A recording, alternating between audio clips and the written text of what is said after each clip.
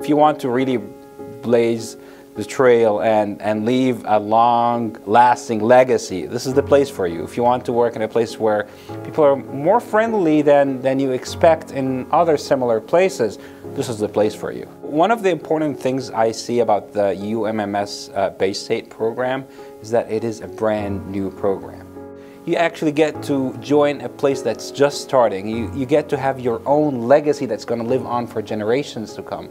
To teach at a, a brand new medical school, I find that as a very exciting opportunity. I'm looking forward to the medical students. Hopefully some of the ones that have uh, worked with me and chatted me one day will say, you know what, I want to apply for a neurosurgeon. And I've had that happen actually a few months ago when we had one of the medical students, he was a third year medical student who shadowed me in clinic and at the end of the three weeks he said, you know what, I'm going to apply for neurosurgery. With UMMS uh, Baystate Medical School, I am part of the longitudinal preceptor program where I have first year medical students, which is quite new and very exciting for me, uh, that come and shadow me in the OR.